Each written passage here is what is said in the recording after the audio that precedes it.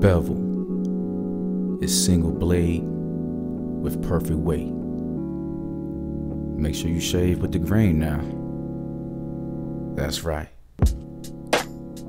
Good whip, good lather.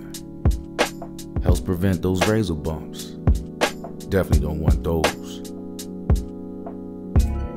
There we go. Bevel. It's a good look.